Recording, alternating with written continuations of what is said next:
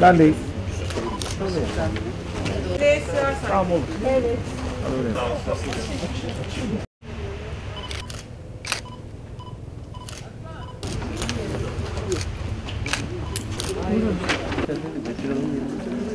Çok teşekkür ederim hepinize, ilginize. Allah ısrar etsin. O buradaydı.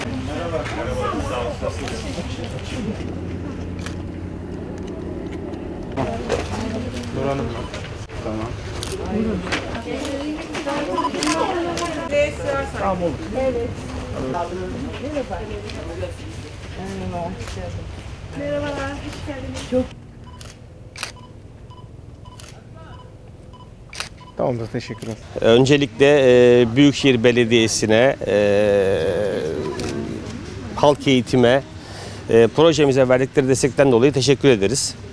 E, projemiz özellikle çocuk annelerini kızla ile istihdam projesi. Bu proje yurt çapında en değerli 5 projeden birisi seçildi.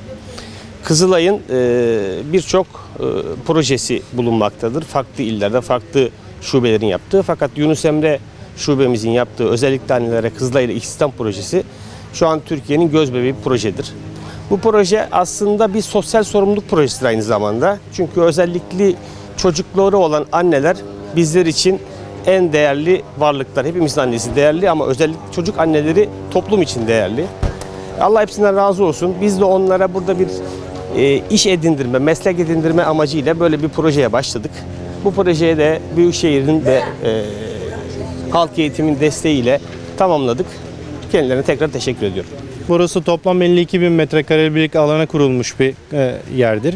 Kapalı alanımız 4000 metrekare. Biz bu 4000 metrekarelik alanda mevsimlik çiçek ve yıllık bitkiler üretiyoruz. E, bu kursla beraber bir aylık sürede Kızılay ile beraber yapılan ortaklaşa eğitimde ağaç ve bitkilerden çelikleme yöntemiyle üretilme ve e, mevsimlik çiçeklerin de tohumlama işlemleri öğretildi ve verimli bir eğitim olduğunu düşünüyoruz.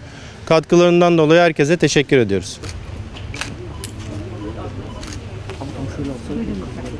Büyükşehir Belediyesi ve Kızılay Derneği'ne e, çok teşekkür ediyorum böyle bir projeye bizi de dahil ettikleri için.